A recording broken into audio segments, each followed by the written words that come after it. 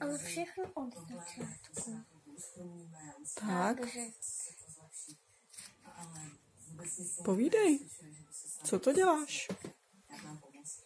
pomáhám mamince dělat syrup. A jak se to dělá? Takhle nakrájíte proužky rýmovníků. Nejdřív no, tam dáte te, te, to, citron, pak tam nadáte kousky rýmovníku a pak to podsypete cukrem. A ne,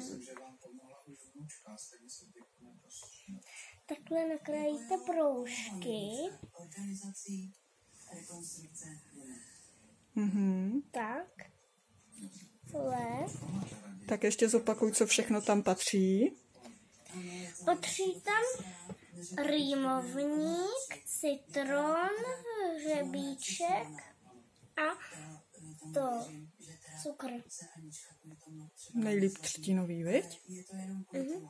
Nejlíp stínový. Tak jo, díky.